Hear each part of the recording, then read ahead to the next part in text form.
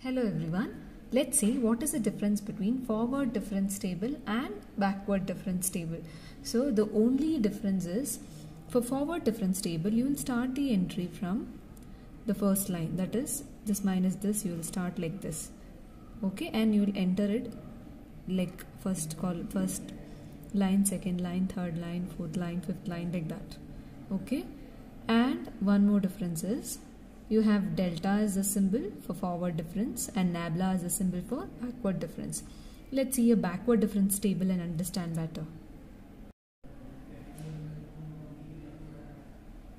Here is a backward difference table.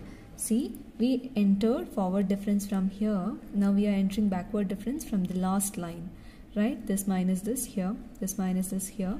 The only difference we get is we are entering from last line backward difference forward difference we are entering from the first line and the symbol for backward difference is nabla forward difference is delta. Thank you